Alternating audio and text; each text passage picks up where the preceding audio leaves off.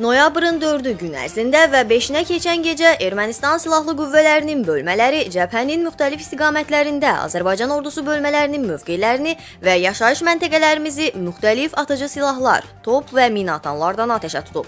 Döyüş əməliyyatları müxtəlif intensivlikdə əsasən cəbhənin Ağdərə və Xocavənd istiqamətlərində davam edib. Düşmən cəbhənin bəzi sahələrində şəxsi heyət və hərbi texnikada itkilər verərək geri çəkilməyə məcbur edilib.